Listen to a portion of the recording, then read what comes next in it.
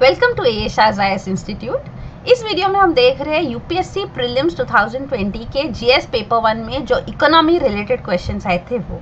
तो हम ये सारे इकोनॉमी के क्वेश्चंस जो है, उनको डिस्कस करेंगे आंसर की और डिटेल्ड एक्सप्लेनेशन के साथ। ये समझने के लिए कि आप करेक्ट आंसर पर कैसे पहुँच सकते तो हम शुरू करते हैं। हमने पेपर का सेग्रीगेशन किया है यहाँ पे। ये सेट ए के टॉपिक वाइज क्वेश्चन है। तो पॉलिटी में हम देखते हैं ओवरऑल सत्रह सवाल है। The question numbers from set A जो है, वो यहाँ पे मेंशन किए गए हैं। तो टोटल पॉलिटी से 17 क्वेश्चन है हिस्ट्री से 20 ज्योग्राफी से 6 एनवायरमेंट से 15 agriculture 13 economy 14 science and tech 12 and international organisation के तीन। तो इस वीडियो में हम इकोनॉमी के क्वेश्चंस डिस्कस कर रहे हैं द फोर्टीन क्वेश्चंस बाकी सबके हमने ऑलरेडी अपलोड किए polity history agriculture science and tech international relations ये सारे अपलोड किए हमने. तो अब ये इकोनॉमी के क्वेश्चन जो हम देखेंगे यहाँ पे तो देखिए. तो पहला सवाल है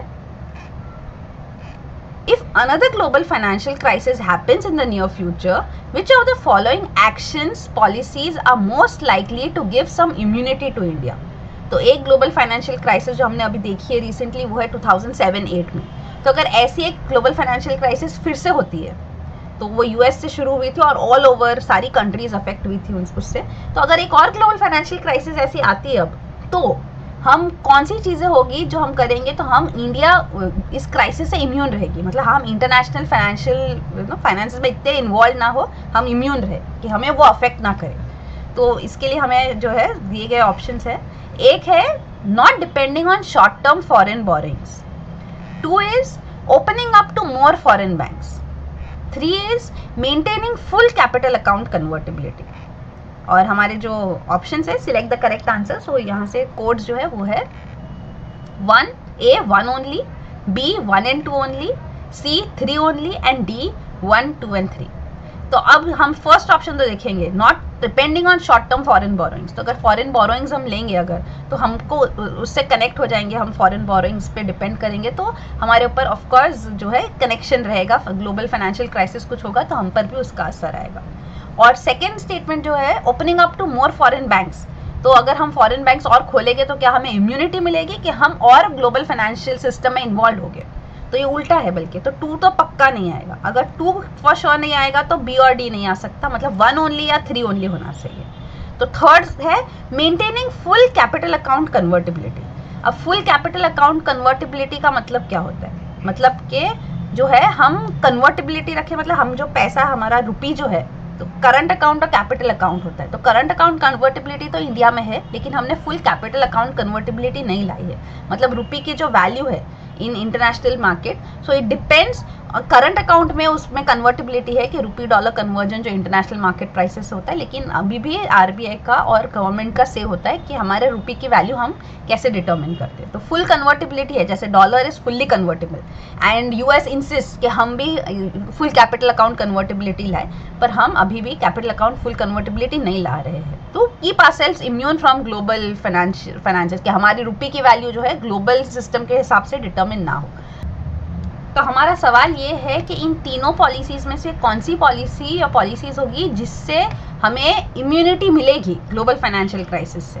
तो हमें ग्लोबल फाइनेंशियल मार्केट से और लिंक नहीं होना है। मतलब कि opening up more foreign banks तो हमें लिंक करेगा।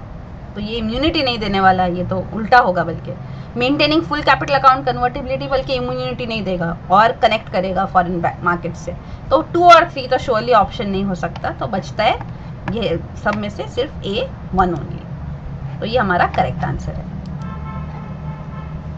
कैपिटल अकाउंट कन्वर्टेबिलिटी का थोड़ा आइडिया होना चाहिए। तो ये एक नेशनल फाइनेंशियल रेजिम का एक फीचर होता है कि कंट्री की करेंसी जो है कितनी कन्वर्टेबल है कैपिटल अकाउंट कैसे कन्वर्टेबल है। तो इसका मतलब क्या होता है? Ability to conduct transaction of local financial assets into foreign financial assets freely और at market determined exchange rates exchange rates currency के बीच में होता है, जैसे डॉलर रुपी का एक्सचेंज रेट तो मार्केट डिटर्मेंट एक्सचेंज रेट पे हम जो है कैपिटल अकाउंट भी ट्रांजेक्शन कर सकते हैं, है ना? फाइनेंशियल एसेट्स होते हैं कैपिटल अकाउंट मतलब जो फाइनेंशियल एसेट्स है, उनका हम कन्वर्ट कर सकते हैं. करेंसी हम कन्वर्ट कर सकते हैं. करंट अकाउंट कन्वर्टेबिलिटी हमारे पास है, लेकिन कैपिटल अकाउंट कन्वर्टेबिलिटी भी है पार्शियल है फुल नहीं है इंडिया में.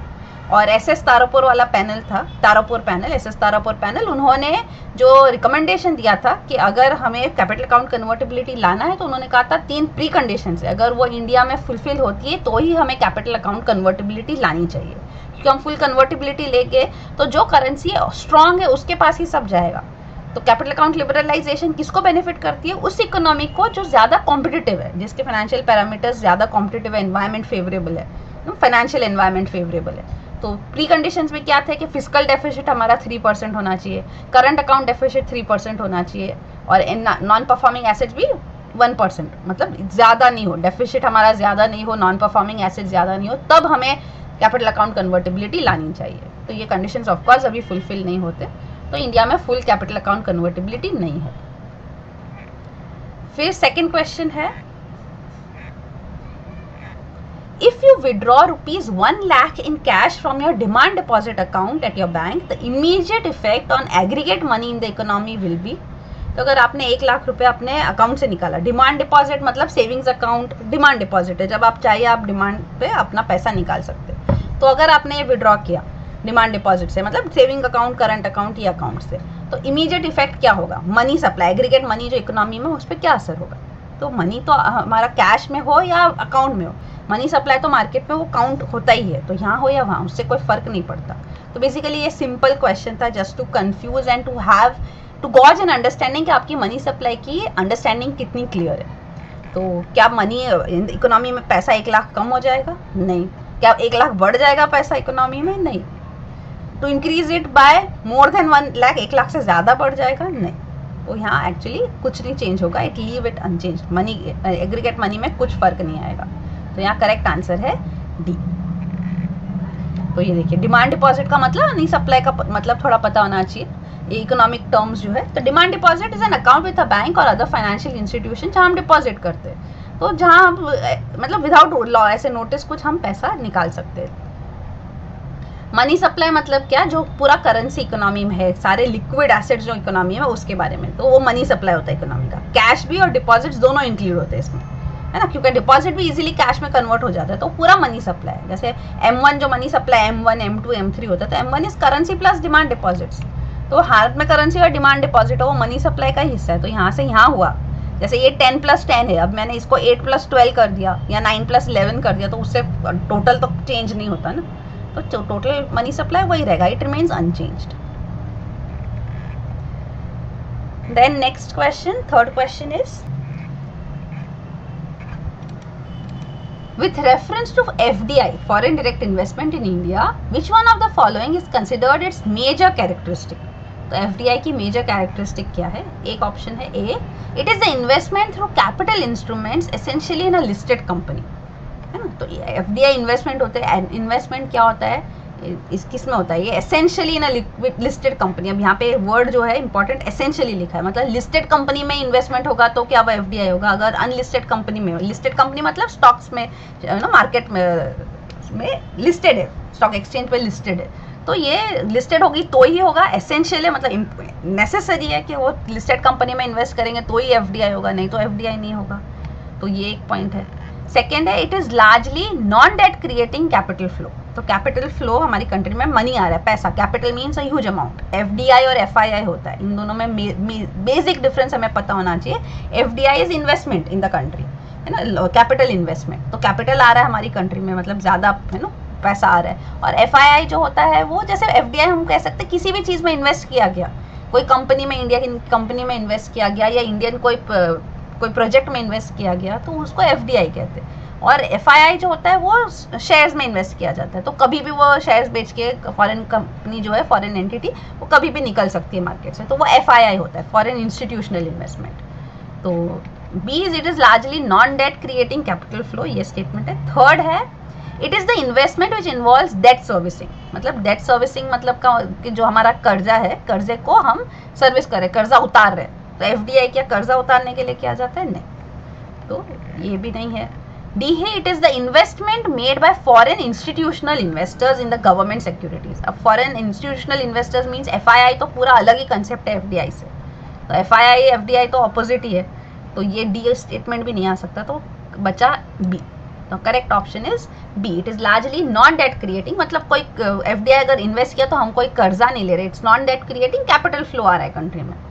तो B is the correct answer so F के बारे में लिखा गया है foreign direct investment investment made by a firm और individual in one country into business interest in मतलब एक कंट्री के जो इन्वेस्टमेंट फॉर्म है फर्म है या इंडिविजुअल है, वो बिज़नेस इंटरेस्ट कोई और कंट्री के अंदर बिज़नेस इंटरेस्ट में इन्वेस्ट कर रही है तो उसे एफडीआई कहते हैं. तो generally F D I takes place when an investor establishes foreign business operation acquires foreign business assets खुद नया एस्टेब्लिश कर रहे हैं या तो कोई बिज़नेस ऑलरेडी था, उसको अक्वायर कर रहे हैं. और पोर्टफोलियो इन्वेस्टमेंट्स अलग होते हैं। पोर्टफोलियो इन्वेस्टमेंट्स मतलब स्टॉक्स में शेयर्स में इन्वेस्ट करना तो that is F I I foreign institutional investment तो वहाँ पे सिर्फ़ इक्विटीज परचेज की जाती है फॉरन बेस्ड कंपनीज़ की तो उसे एफ़ एफ़ आई आई कहते हैं, ऐसे। तो F D I F P I depository receipts ये सब नॉन डेट फ्लोज है। They do not create any repayment burden हमें रीपे नहीं करना है, कोई उधार, कर्जा नहीं हमारे पे कि हमें उसे रीपे करना पड़ेगा। है ना? अगर एफडीआई में किसी कंपनी ने कोई इन्वेस्ट किया है तो कोई उसके ऊपर, उसने कर्जा नहीं दिया है हमको, वो खुद ही अपना पैसा इन्वेस्ट करिए। प्रॉफिट होगी, जो होगा, उस हिसाब से उनको रिटर्न्स मिलेंगे। तो इट्स नॉन डेट और ई सी बीज है ना? कन्वर्टेबल बॉन्ड्स जो होते हैं, वो सारे जो है रुपी डिनोमिनेटेड बॉन्ड्स ये डेट क्रिएटिंग है। वो एक्चुअली हम लोन ही ले रहे उस हिसाब से ये बॉन्ड्स जनरेट होते तो these are debt creating inflows then next is with reference to the international trade of India at present, which of the following statements is, are correct? तो हमें ऑप्शंस दिए गए स्टेटमेंट्स दिए गए। First one India's merchandise exports are less than its merchandise imports मतलब merchandise मतलब goods तो goods का एक्सपोर्ट जो है हमारा, वो हमारे इंपोर्ट्स से कम है। तो गुड्स एक्सपोर्ट्स हमारा कम ही है। एक्सपोर्ट्स लेस है इम्पोर्ट हमारा ज़्यादा है, क्योंकि फ्यूल इतना हम इम्पोर्ट करते तो ये स्टेटमेंट तो सही है। Second is India's imports of iron and steel chemical chemicals fertilisers and machinery have decrease in recent years तो हमारे इम्पोर्ट्स कम हो गए, ऐसा बोला जा रहा है। थर्ड स्टेटमेंट है India's exports of services are more than its imports of services मतलब सर्विसेज़ हम ज़्यादा एक्सपोर्ट करते हैं इम्पोर्ट से। तो ये तीन स्टेटमेंट्स है, हमारे ऑप्शंस क्या है? और ये चौथा भी है India suffer suffers from an overall trade current account deficit तो हमारा ट्रेड डेफिसिट है करंट अकाउंट डेफिसिट है, क्योंकि हमारे एक्सपोर्ट्स कम है इम्पोर्ट ज़्यादा है तो डेफिसिट तो है ही। तो ये हमें पता है ओवरऑल ट्रेड डेफिसिट है। तो फ़र्स्ट स्टेटमेंट और फोर्थ स्टेटमेंट तो फ़र्स्ट करेक्ट है। अब हमारे ऑप्शन कैसे वो हम देखेंगे। ये देखिए one and two only two and four only three only one three and four only तो हमारे one and four surely correct है। तो हमारा ऑप्शन जो बनता है टू इनकरेक्ट है। तो टू ये नहीं आ सकता। तो हमारा आंसर जो है, वो डी है। तो even if we don't know whether two is correct और not even if we know one and four are surely correct तो दोनों एक ही डी में ही है। तो हमारा करेक्ट आंसर ये आता है। मतलब इंडिया के इम्पोर्ट्स कम नहीं हुए हैं। अब इसके बारे में हमें नो टेक्निकल नॉलेज हो ना हो डेटा हो ना हो, हमने ऐसा कोई स्टडी किया ना हो तो भी हम ये आंसर दे सकते हैं। Even if we know whether don't know कि टू करेक्ट है कि इनकरेक्ट है। तो ऐसे हम ये आंसर्स कर सकते हैं। तो exports of services more than imports ये है भी सर्विसेज़ में हम ज़्यादा सर्विसेज़ प्रोवाइड करते हैं तो वो है भी। Then next is the term West Texas Intermediate sometimes found in news refers to a grade of crude oil bullion rare earth elements and uranium तो ये चार ऑप्शन है। बुलियन मतलब गोल्ड है ना? तो ये चार में से क्या आएगा?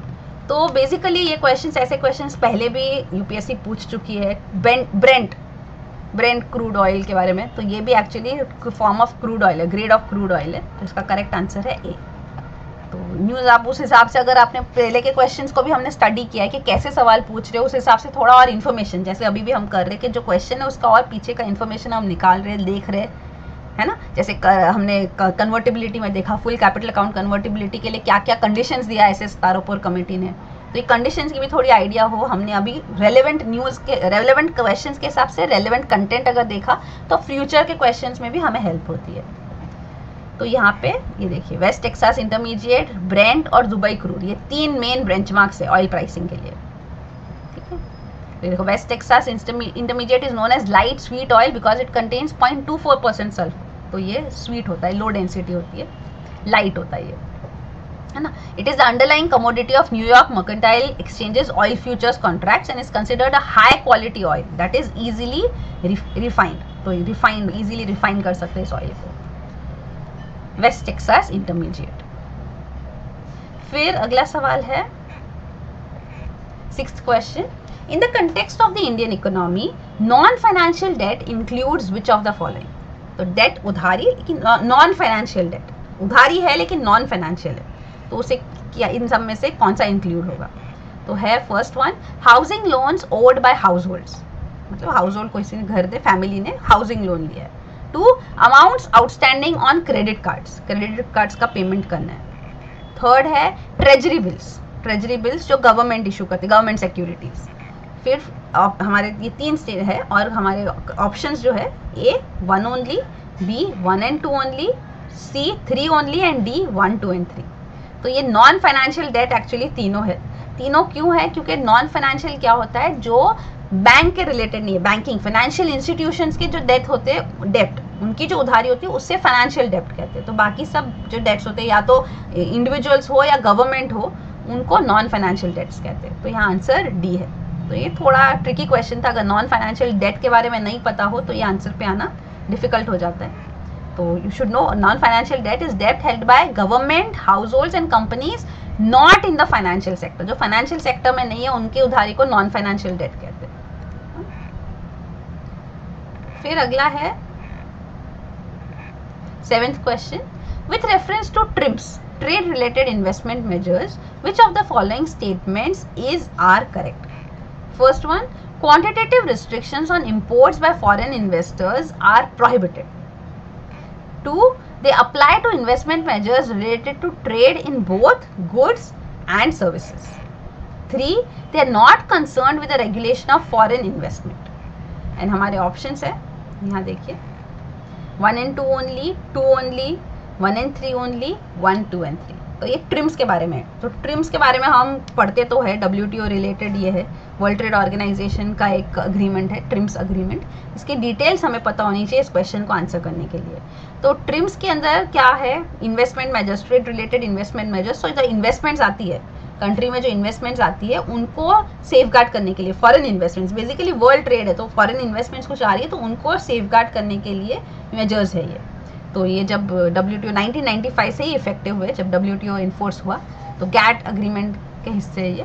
तो ये जो ट्रिम्स अग्रीमेंट है, उसके अंदर quantitative restrictions on imports by foreign investors are prohibited कि फॉरेन इन्वेस्टर अगर या इंपोर्ट है ना इन्वेस्ट कर रहे हैं तो उनके ऊपर क्वांटिटेटिव रिस्ट्रिक्शंस लगाए जाए कि आप इंपोर्ट नहीं कर सकते तो ये नहीं होना चाहिए। तो ये सेंस बनता है।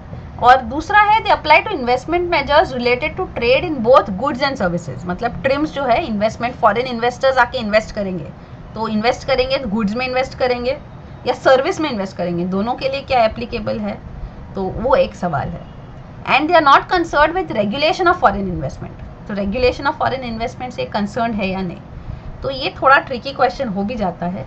यहाँ पे करेक्ट आंसर एक्चुअली है C one and three only क्योंकि ट्रिम्स जो है, वो सिर्फ़ ट्रेड इन गुड्स को अप्लाई करता है। सर्विसेज़ उसमें कवर्ड नहीं है। तो इन्वेस्टमेंट्स जो गुड्स में आ रही है सर्विसेज़ में इन्वेस्टमेंट्स आ रही है, वो इसमें नहीं कवर्ड है। तो इसीलिए ये answer one and three only है। टू इज़ इनकरेक्ट तो ये देखिए ट्रिम्स जो 1995 में अग्रीमेंट बना it recognises that certain investment measures can restrict and distort trade तो ट्रेड डिस्टॉर्टिंग नो कंडीशंस ला सकते हैं। जैसे बहुत बहुत ही जो जो फ़ेमस या जो ऑब्वियस जो मेजर होता है, जो गवर्नमेंट्स लेती है इन्वेस्टमेंट्स के ऊपर कंडीशंस लगाती है फॉरेन इन्वेस्टमेंट्स पे, वो है लोकल कंटेंट रिक्वायरमेंट कि आप यहाँ पे इन्वेस्ट कर रहे हैं, आप पैसा डाल रहे हैं तो यहाँ के रिक्वायरमेंट यहाँ का आप लो।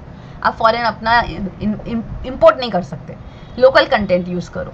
तो ये लोकल कंटेंट रिक्वायरमेंट्स के कंडीशंस लाए जाते हैं, वो एक्चुअली ट्रिम्स के अगेंस्ट जाते हैं। तो लिस्ट ऑफ़ प्रोहिबिटेड ट्रिम्स जो है ट्रिम्स में जो प्रोहिबिटेड है, वो एक लोकल कंटेंट रिक्वायरमेंट है। तो it this agreement again applies to investment related to trade in goods only it does not apply to trade in services तो ये एक इंपॉर्टेंट पॉइंट है। अगर ये इन्फॉर्मेशन हमें हो तो हम ये क्वेश्चन ईजिली सॉल्व कर सकते हैं। देखिए agreement is not concern with regulation of foreign investment जो हमारा थर्ड स्टेटमेंट था। So TRIMs is not concern with regulation of foreign investment इसका मतलब क्या होता है? इसका मतलब बेसिकली है कि जैसे कि लोकल कंटेंट रिक्वायरमेंट लगाया गया तो लोकल कंटेंट रिक्वायरमेंट गवर्नमेंट कहेगी कि हमने नॉन डिस्क्रिमिनेटरी लगाया है। डोमेस्टिक डोमेस्टिक कंपनी भी है समझो डोमेस्टिक कंपनी है समझो स्टील um, मैन्युफैक्चर कर रही है। तो जो आयन रॉ मटेरियल जो भी यूज़ कर रहे हैं तो उस पर लोकल कंटेंट रिक्वायरमेंट कि आप यहीं का यूज़ करो। तो डोमेस्टिक कंपनीज़ को भी यही का बोल रहे हैं फॉरेन एंटरप्राइजेस को भी यही का बोल रहे हैं। तो दोनों को डिस्क्रिमिनेशन नहीं ला रहे हम। लेकिन ट्रिम्स को उससे कोई लेना देना नहीं। So that is irrelevant under the TRIMs agreement ये डिस्क्रिमिनेशन नहीं है। तो वही लिखा गया है कि ये जो है it does not regulate foreign investment कि फॉरेन इन्वेस्टमेंट है ये, और यू नो कि ये डोमेस्टिक इन्वेस्टमेंट है। तो it's just related to investment measures जो हो गए, उस पर गवर्नमेंट रिस्ट्रिक्शंस ना लें ये रहा तो नेक्स्ट क्वेश्चन है। Eighth question if the RBI decides to adopt an expansionist monetary policy which of the following would it not do तो ये नॉट वाला क्वेश्चन है, नहीं करेगी। क्या आरबीआई क्या नहीं करेगी? एक्सपांशनिस्ट मॉनेटरी पॉलिसी चाहिए। मतलब एक्सपांशनिस्ट चाहिए मतलब पैसा ज़्यादा होना चाहिए इकोनॉमी में। तो एक्सपांशनिस्ट मॉनेटरी पॉलिसी के लिए क्या स्टैचुटरी लिक्विडिटी रेशियो जो है, उसको कट करके ऑप्टिमाइज करेंगे? तो कट कट करेंगे स्टैचुटरी लिक्विडिटी रेशियो और ऑप्टिमाइज करेंगे। कट करेंगे मतलब कम करेंगे। तो कम करेंगे तो एक्सपांशनिस्ट पॉलिसी हो गई तो ये नहीं जो क्या नहीं करना चाहिए which of the following it would not do तो ये तो करेंगे बल्कि one it will do second is increase the marginal standing facility rate तो रेट जो है, ये इंटरेस्ट रेट ही है। तो ये इंटरेस्ट रेट इंक्रीज करेंगे। तो इंक्रीज करेंगे तो ये नहीं करना चाहिए। What it should not do is two it should not do है ना? कि रेट्स इंक्रीज नहीं करना चाहिए। क्योंकि हमको ज़्यादा इकोनॉमी में पैसा चाहिए तो इंटरेस्ट रेट्स इंक्रीज करेंगे तो थोड़ी लोग पैसा बोरो करेंगे वगैरह। Bank rate repo rate cut करना चाहिए। मतलब एक्सपांशनिस्ट है तो हमें एक्चुअली कट ही करना चाहिए। तो बैंक रेट रेपो रेट ये इंटरेस्ट रेट्स की interest rates they should be cut reduced तो हमारा करेक्ट आंसर क्या आएगा यहाँ पे? हम ऑप्शंस देख के क्लियरली बता सकते हैं, इसका आंसर होगा बी टू ओनली तो ये नॉट से हमें कंफ्यूज नहीं होना है क्लियरली समझेंगे तो एक क्लियरली हमें आंसर मिल जाता है.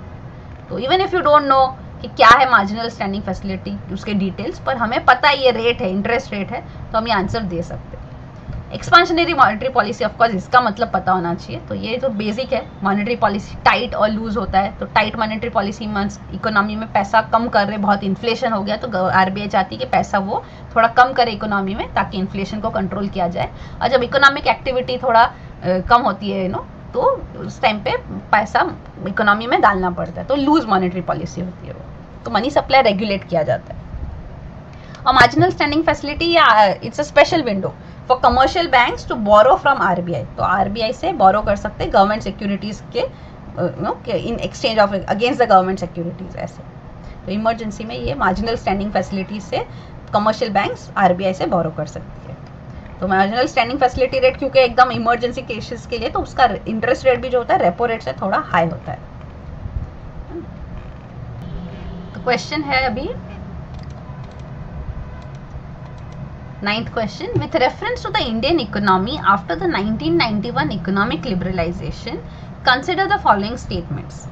पहला statement है worker productivity rupees per worker at 2004-5 prices increase in urban areas while it decreased in rural areas मतलब worker productivity urban areas में बढ़ती जा रही है और rural areas में productivity कम होती जा रही है ऐसा होगा second is the percentage share of rural areas in the workforce steadily increased तो रूरल एरियाज़ में जो वर्कफोर्स का परसेंटेज शेयर है, वो इंक्रीज हो जाए।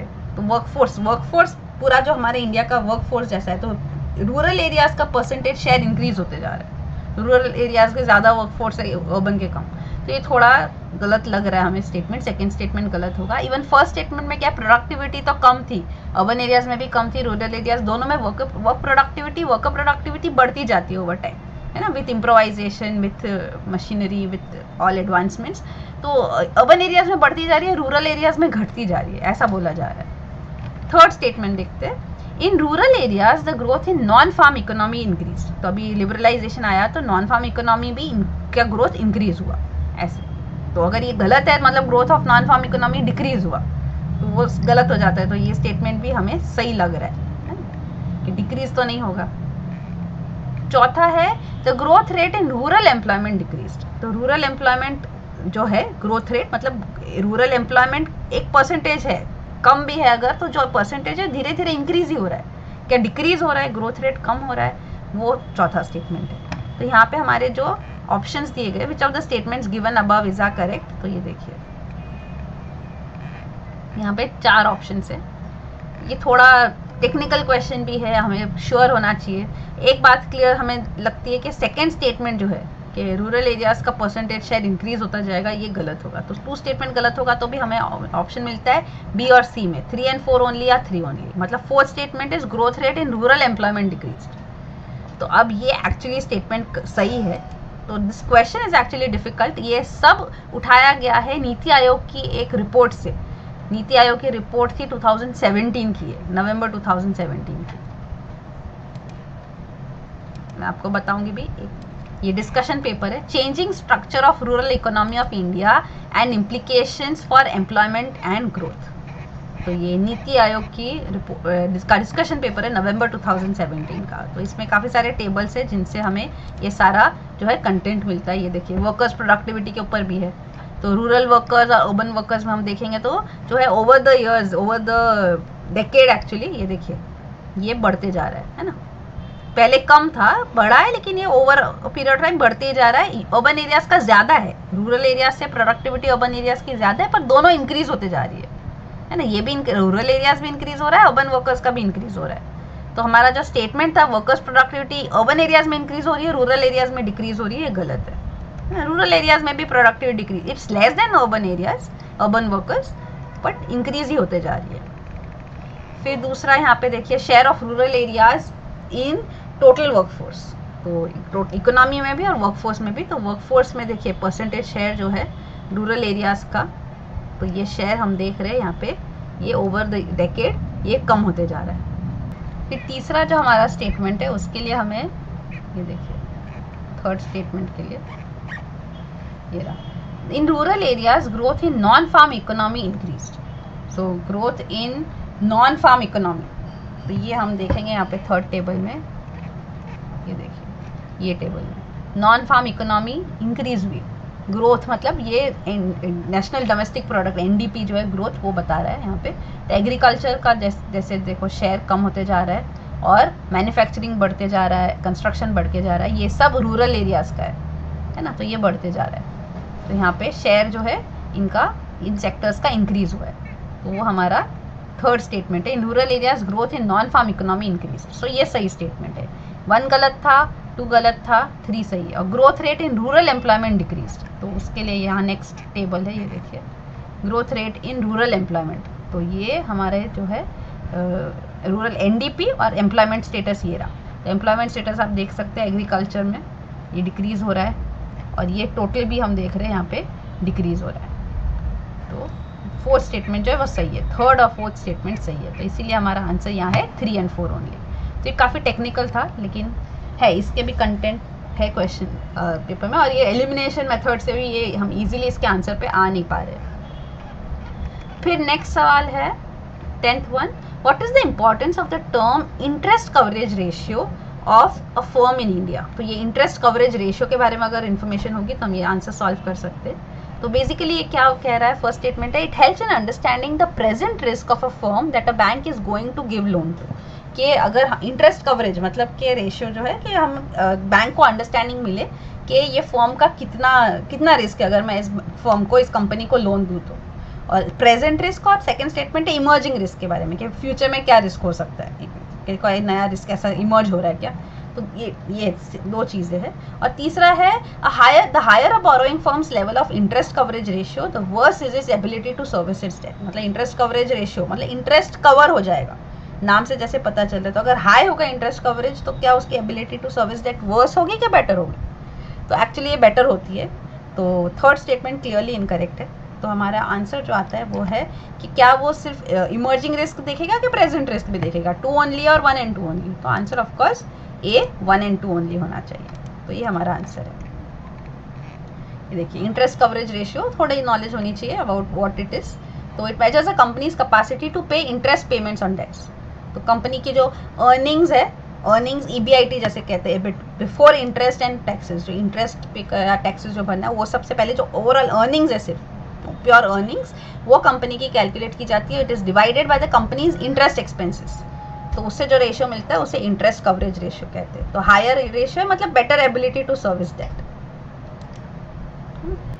क्योंकि न्यूमरेटर जो है, वो अर्निंग्स है। तो अर्निंग्स ज़्यादा होगा तो इंटरेस्ट पे करने की एबिलिटी ज़्यादा होगी। इंटरेस्ट एक्सपेंस डिनोमिनेटर में है। तो इंटरेस्ट कवरेज रेशियो बड़ा है मतलब कि एबिलिटी टू सर्विस डेट ज़्यादा है। बेटर है। फिर अब देखेंगे नेक्स्ट क्वेश्चन ये है question number eleven consider the following statements first the value of Indo Sri Lanka trade has consistently increase in the last decade two textile and textile articles constitute an important item of trade between India and Bangladesh. And third statement is in the last five years, Nepal has been the largest trading partner of India in South Asia. तो ये तीन हमारे statements है। हमें select करना है कौन से स्टेटमेंट्स करेक्ट है। तो चार ऑप्शंस दिए गए हैं। अब यहाँ पे हम देखेंगे तो थर्ड स्टेटमेंट में थोड़ा डाउट हमें लग सकता है। नेपाल छोटी सी कंट्री है तो लार्जेस्ट ट्रेडिंग पार्टनर होना थोड़ा नो डाउटफुल है इन साउथ एशिया तो ये थर्ड स्टेटमेंट हो सकता है, गलत है। तो फ़र्स्ट और सेकंड में से भी फिर the value of Indo Sri Lanka trade has consistently increase in the last decade तो मतलब पूरा डेकेड मतलब अभी 2020 चल रहा है तो 2010 टू 2020 पूरे डेकेड में इंडो श्रीलंका ट्रेड इंक्रीज ही हो रहा है। कम नहीं हुआ है बीच में। तो ये एक पॉइंट है। और दूसरा पॉइंट है regarding Bangladesh. Bangladesh India Bangladesh trade relations है और इंडिया बांग्लादेश दोनों टेक्सटाइल्स में प्रोमिनेंट है। Bangladesh also has well developed textile industry तो यहाँ पे हमारे जो ऑप्शंस एक्चुअली है तो श्रीलंका इंडो श्रीलंका ट्रेड में ये स्टेटमेंट इनकरेक्ट है। ये एक फैक्ट है, अब अब हमें ये पता हो तो अच्छी बात है, ये देखिए यहाँ 2009 में तो डिप हुआ ही था पोस्ट द फाइनेंशियल क्राइसिस और यहाँ पे भी इम्पोर्ट्स जो है डिप हुआ है। तो ये है तो इंडो श्रीलंका ट्रेड की वैल्यू कंसिस्टेंटली इंक्रीज नहीं हुई है डिप भी हुई है है। ये एक्सपोर्ट्स दिखा इम्पोर्ट्स और एक्सपोर्ट्स तो imports exports together make up trade तो यहाँ पे भी ये डिप ही है, यहाँ पे भी तो ये बात है. Then regarding the largest trading partner actually Nepal is not the largest trading partner Bangladesh is India largest trading partner in South Asia and uh, major textile industry bangladesh and you can see uh, bangladesh has been a major textile trading partner for india with a share of more than 5% in exports and over 7% in imports so textiles is a major commodity in trade between india and bangladesh then next question is 12th question. Consider the following statements. 1. The weightage of food in consumer price index is higher than in wholesale price index मतलब CPI का weightage जो food का weightage CPI में वो ज़्यादा है compare to WPI तो अब सीपीआई कंज्यूमर प्राइस इंडेक्स है तो कंज्यूमर्स फ़ूड ज़्यादा कंज्यूम मतलब फ़ूड का एक मेजर एक्सपेंडिचर होता है कंज्यूमर्स के लिए तो फ़ूड का वेटेज वहाँ पे ज़्यादा होगा ही। तो ये ऑब्वियस सा स्टेटमेंट भी है। और डब्ल्यूपीआई का भी हमें जो है बास्केट डब्ल्यूपीआई बास्केट पता है तो फ़ूड इतना मेजर कॉन्स्टिट्यूंट नहीं होता उसमें। सेकेंड स्टेटमेंट है W P I does not capture changes in the prices of services which C P I does मतलब आई में सर्विसेज़ इंक्लूडेड है डब्ल्यू पी आई में नहीं. और तीसरा स्टेटमेंट है RBI reserve bank of India has now adopted W P I as its key measure of inflation and to decide on changing the key policy rates तो key interest rate RBI का हमें पता है monetary policy committee establish की गई है, वो decide करती है की पॉलिसी रेट्स और सीपीआई यूज़ किया जाता है. तो ये थर्ड जो स्टेटमेंट है, ये ऑब्वियस गलत स्टेटमेंट है। अगर आपने इकोनॉमी पढ़ा है करंट अफेयर्स थोड़ा पढ़ा है तो with little knowledge also you will be able to guess this third statement is surely incorrect तो अब हमारे ऑप्शंस कैसे वो देखते तो चार ऑप्शंस ये है। तो सी और डी तो पक्का नहीं हो सकता। तो वन ओनली के one and two only sorry two only के वन एंड टू ओनली मतलब टू स्टेटमेंट भी पक्का सही है। अब हमें इसके बारे में पता हो या ना हो, पता हो, ये सही स्टेटमेंट है। फ़र्स्ट स्टेटमेंट का के ऊपर निर्भर करता है तो फ़र्स्ट स्टेटमेंट भी करेक्ट है। तो answer here is A one and two only तो ये देखिए I index measuring retail inflation है ना? तो it collects the price changes in common goods and services दोनों। तो गुड्स सर्विसेज़ दोनों के प्राइसेस को ये जो है, इसके बारे में इंफॉर्मेशन कलेक्ट करके इंडेक्स बनता है। डब्ल्यूपीआई में सर्विसेज़ नहीं इंक्लूडेड है। ना? तो सी पी आई बास्केट पे food will have much higher weightage तो फ़ूड प्राइसेस में जब इंक्रीज होता है तो सी पी आई जल्दी इंक्रीज होता है compare to W P I है ना? और मैन्युफैक्चर्ड गुड्स का ज़्यादा वेटेज डब्ल्यू पी आई में सी पी आई में नहीं तो ये है। तो और ये मॉनेटरी पॉलिसी कमेटी के बारे में भी है कि आरबीआई जो इन्फ्लेशन टारगेटिंग करते हैं four percent plus minus two percent हो सकता है मतलब two to six percent band में हमारा सीपीआई रहना चाहिए consumer price index based inflation तो सीपीआई यूज़ होता है डब्ल्यूपीआई नहीं। तो third statement obvious incorrect statement था। Then next is 13th question. With reference to the Indian economy, consider the following statements. 1. Commercial paper is a short-term unsecured promissory note. 2. Certificate of deposit is a long-term instrument issued by the Reserve Bank of India to a corporation. 3. Call money is a short-term finance used for interbank transactions. 4. Zero coupon bonds are the interest bearing short term bonds issued by scheduled commercial banks to corporations. ठीक है? तो अब ये चार statements में हो सकता है, हमें इनके बारे में इतनी डिटेल नहीं भी पता हो। कॉल मनी ऑब्वियस होता है, आप इकोनॉमी पढ़ोगे स्टैंडर्ड बुक्स भी पढ़ोगे तो कॉल मनी के बारे में आपके, आप रेफर करोगे इसके बारे में आप सुनोगे तो कॉल मनी जो है शॉर्ट टर्म फाइनेंस होता है इंटर बैंक ट्रांजेक्शन के लिए कि मतलब जब शॉर्ट टर्म रिक्वायरमेंट होता है इवन ओवरनाइट रिक्वायरमेंट बैंक्स के लिए होता है तो कॉल मनी यूज़ किया जाता है। तो ये थर्ड स्टेटमेंट श्योरली करेक्ट है। और फोर्थ स्टेटमेंट में ज़ीरो कूपन बॉन्ड्स लिखा है तो ये ज़ीरो है। ज़ीरो कूपन बॉन्ड्स है तो ये बेसिकली ज़ीरो इंटरेस्ट होते हैं। और यहाँ पे लिखा है इंटरेस्ट बेरिंग है ये। तो ये एक्चुअली स्टेटमेंट गलत हो जाता है। तो हमारे ऑप्शंस कैसे वो हम देखेंगे। तो third obviously correct and fourth incorrect अगर हम ले तो हमारे ऑप्शन से हम फोर्थ इनकरेक्ट में ये बी और डी निकल जाएगा। फोर इनकरेक्ट है और थर्ड ऑब्वियसली करेक्ट है तो हमारे पास एक ही ऑप्शन बचता है C one and three only that is the correct answer है ना? तो यहाँ पे इनके डिटेल्स भी दी है कमर्शियल पेपर्स क्या होते हैं? Commercial papers short term unsecured promissory notes होते हैं, जो शॉर्ट टर्म होते हैं like rarely more than two seventy days तो ग्लोबल फाइनेंशियल मार्केट में कमर्शियल पेपर्स मतलब जो भी है कंपनीज़ का प्रोमिसरी नोट होती है, उसे कमर्शियल पेपर कहते हैं. और सर्टिफिकेट ऑफ़ डिपॉजिट जो है इट्स अ टाइम डिपॉजिट मतलब एक फाइनेंशियल प्रोडक्ट टाइम डिपॉजिट जैसे हम डिपॉजिट होती है हमारी बैंक्स की तो बैंक सेल करती है उसको सर्टिफिकेट ऑफ़ डिपॉजिट तो financial product commonly sold by banks ऐसे। और ये सेविंग्स अकाउंट से अलग होते हैं। बैंक्स के पास सेविंग अकाउंट्स भी होते हैं बट सर्टिफिकेट ऑफ़ डिपॉजिट में स्पेसिफिक फिक्स टर्म होता है फिक्स इंटरेस्ट रेट होता है, ऐसे। और बैंक्स एक्सपेक्ट करते हैं कि सर्टिफिकेट ऑफ़ डिपॉजिट जो है तो ये डिपॉजिट रहेगा टिल मेच्योरिटी है ना। सेविंग्स अकाउंट आप कभी भी उसमें से निकाल सकते हैं पैसा। तो ये कमर्शियल पेपर्स और सर्टिफिकेट ऑफ़ डिपॉजिट के बारे में और हमारे जो क्वेश्चन में दिया था commercial paper short term unsecured promissory note तो ये स्टेटमेंट सही है।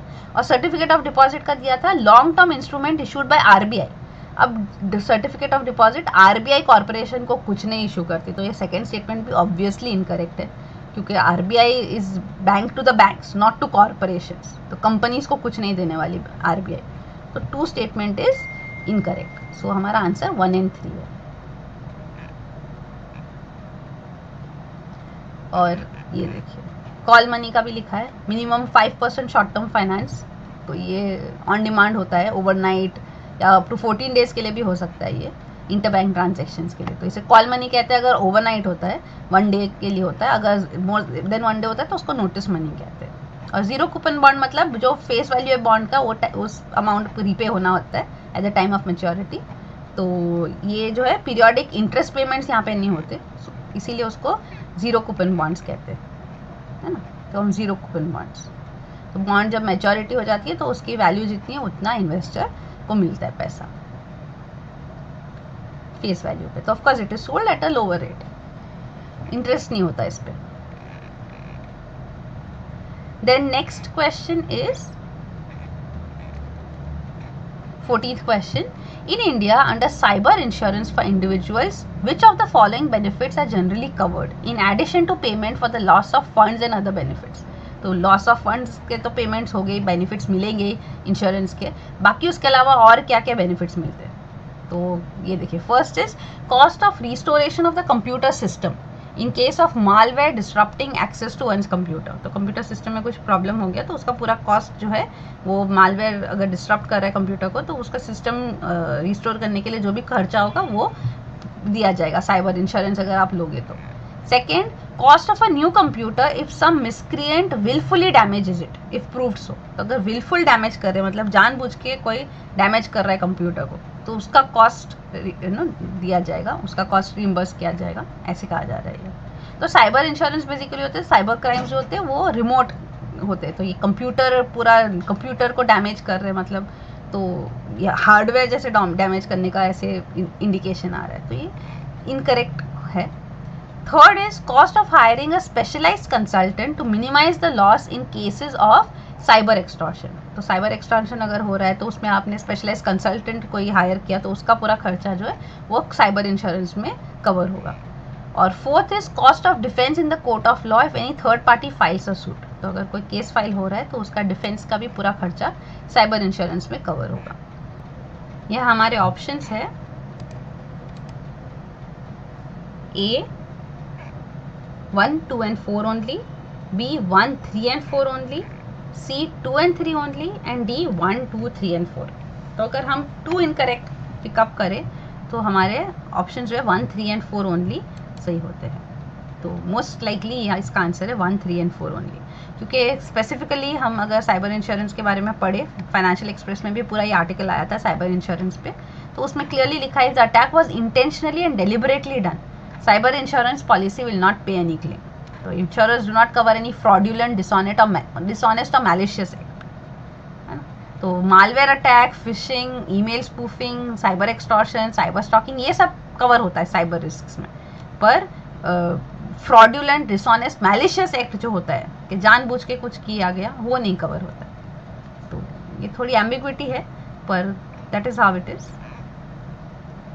then next question जो है वो है consider the following statements one in terms of short term credit delivery to the agriculture sector district central cooperative bank deliver more credit in comparison to scheduled commercial banks and regional rural banks ये basically credit के बारे में तो है, पर agriculture related है, क्योंकि district cooperative banks वगैरह जो है तो एग्रीकल्चर को एग्रीकल्चर सेक्टर में क्रेडिट प्रोवाइड करते हैं। तो ये क्वेश्चन बेसिकली इकोनॉमी से ज़्यादा एग्रीकल्चर में बेटर फिट बैठेगा।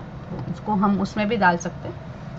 और second is one of the most important functions of district central cooperative banks is to provide funds to the primary agricultural credit societies ठीक है, ये दो स्टेटमेंट्स है और हमारे क्वेश्चन ऑप्शंस है। One only two only both one and two neither one not two which of the the above are correct is are correct? तो अब हम देखेंगे तो यहाँ पे ये स्टैंडर्ड जो हमें पता होना चाहिए एग्रीकल्चरल क्रेडिट के बारे में already district central cooperative bank पे एक सवाल आ चुका है। इसी पेपर में 2020 के पेपर में हमने एग्रीकल्चर में डिस्कस किया था। ये भी एग्रीकल्चर में ही सेग्रीगेट होना चाहिए। तो इकोनॉमी के 14 क्वेश्चन एक्चुअली तो ये जो क्वेश्चन है। अब यहाँ पे हमें इतना तो पता होना चाहिए कि डिस्ट्रिक्ट सेंट्रल कोऑपरेटिव बैंक्स होती है, उसके नीचे प्राइमरी एग्रीकल्चर क्रेडिट सोसाइटीज होती है और डिस्ट्रिक्ट के भी ऊपर स्टेट कोऑपरेटिव बैंक्स होती है। तो ये पूरा एक थ्री टायर स्ट्रक्चर है। तो अगर डिस्ट्रिक्ट कोऑपरेटिव बैंक्स मेनली उनका फ़ंक्शन होता है प्राइमरी एग्रीकल्चर क्रेडिट सोसाइटीज को फंड प्रोवाइड करना।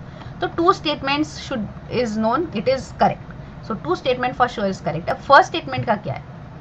In terms of short term credit delivery to agriculture sector district central cooperative banks deliver more credit in comparison to scheduled commercial bank and rural bank मतलब commercial bank से भी ज़्यादा credit ये provide करते हैं। ऐसा तो नहीं होता। कमर्शियल बैंक ज़्यादा यू नो वाइड स्प्रेड भी है और वो ज़्यादा क्रेडिट प्रोवाइड करते हैं। तो फ़र्स्ट स्टेटमेंट भी इनकरेक्ट है, ये समझ रहा है। तो यहाँ पे आंसर आएगा बी टू ओनली तो इस क्वेश्चन को हम एग्रीकल्चर सेक्शन में डालेंगे। और इसका एक्सप्लेनेशन भी जो है थ्री टायर स्ट्रक्चर का, हम देख लेते हैं एक बार। ये देखिए cooperative credit societies in India have a three tier structure village level या ग्राम पंचायत लेवल पे प्राइमरी एग्रीकल्चरल क्रेडिट सोसाइटीज होती है। ये पी पे एक सवाल यही पेपर में आया है, जो हमने एग्रीकल्चर में डिस्कस किया है। तो ये है, और district central cooperative bank district level पे, और जो टॉप मोस्ट स्टेट लेवल पे होती है, वो स्टेट कोऑपरेटिव बैंक होती है। तो ये थ्री टायर स्ट्रक्चर है। So, district central cooperative banks provide, you know, funds to primary agriculture credit societies. फिर ये इन्वेस्टमेंट इन एग्रीकल्चर का क्वेश्चन था। एग्रीकल्चर सेक्शन में हमने डिस्कस किया था कि पी को कंप्यूटराइज करना is a public investment in agriculture उसका स्टेट क्वेश्चन था ये। फिर जो अगला सवाल है ये ये एग्रीकल्चर सेक्शन का सवाल है, लेकिन यहाँ पे थोड़ा एरर हो गया था तो इसे हम फिर से एक बार देख लेते किसान क्रेडिट कार्ड स्कीम के बारे में हमने पूरा डिस्कस किया। कि शॉर्ट टर्म क्रेडिट सपोर्ट जो फार्मर्स को दी जाती है तो किस चीज़ के लिए दी जाएगी? शॉर्ट टर्म क्रेडिट में तो शॉर्ट टर्म लोन दिया जा रहा है। तो यहाँ हमारे ये जो पाँच ऑप्शंस थे, इनमें से कौन सा करेक्ट हमें देना था? तो हमने ऑलरेडी डिस्कस किया इसका डिटेल में कि क्या क्या इस, किन पर्पसेस के लिए किया जा सकता है? पूरा किसान क्रेडिट कार्ड स्कीम का डिटेल है। कि no short term credit requirement के लिए पोस्ट हार्वेस्ट हार्वेस्ट एक्सपेंसेस के लिए, है ना प्रोड्यूस को मार्केट करने के लिए अगर लोन चाहिए, या फैमिली का जो कंजम्पशन रिक्वायरमेंट है, उसके लिए भी किसान क्रेडिट कार्ड के अंदर हम लोन ले सकते हैं। और working capital working capital for maintenance of farm assets मतलब फार्म के एसेट्स जो है, कुछ भी हो ट्रैक्टर वगैरह, वो मेंटेन करने के लिए हम ले सकते हैं। पर खरीदने के लिए नहीं है शॉर्ट टर्म क्रेडिट है तो वो वो नहीं है। Investment credit requirement for agriculture and allied activities तो शॉर्ट टर्म क्रेडिट रिक्वायरमेंट्स होते हैं, उसके अंदर वो नहीं आएगा। तो ये हमारा क्या है? शॉर्ट टर्म क्रेडिट सपोर्ट तो ये जो है purchase of combined harvest actually यहाँ नहीं आएगा। और फिफ्थ भी ये जो है विलेज कोल्ड स्टोरेज ये भी शॉर्ट टर्म नहीं है लॉन्ग टर्म इन्वेस्टमेंट है। तो ये फिफ्थ और सेकेंड नहीं आएगा। हमारा करेक्ट आंसर है B one three and four only ठीक है? वर्किंग कैपिटल के लिए कंजम्पशन रिक्वायरमेंट्स के लिए भी और पोस्ट हार्वेस्ट एक्सपेंसेस के लिए भी, किसान क्रेडिट कार्ड स्कीम के अंदर शॉर्ट टर्म क्रेडिट सपोर्ट मिलता है। तो यही है। तो यहाँ पे हमारा एक्सप्लेनेशन फिनिश होता है। Wish you all all the very best thank you तो यहाँ पे हमारा एक्सप्लेनेशन फिनिश होता है। Wish you all all the very best thank you